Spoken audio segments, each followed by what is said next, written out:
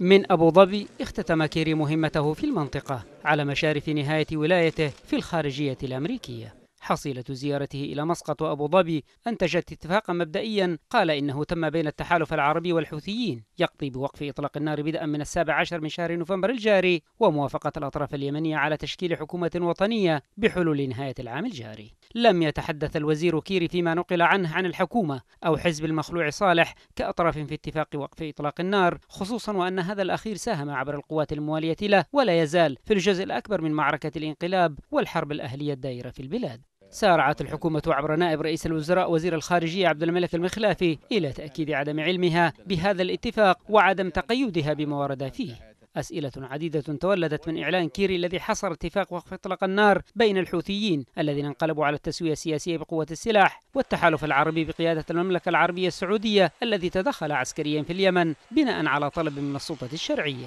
لإعلان الوزير كيري نبأ كهذا من أبو ظبي دلالته على طبيعة اللاعبين والمؤثرين في المشهد اليمني. وعلى طبيعة الترتيبات المقبلة التي يبدو أنها تدفع باتجاه إنتاج أزمة عوضا عن أن تحل عقدة الحرب والسلطة التي بلغت ذروتها في اليمن.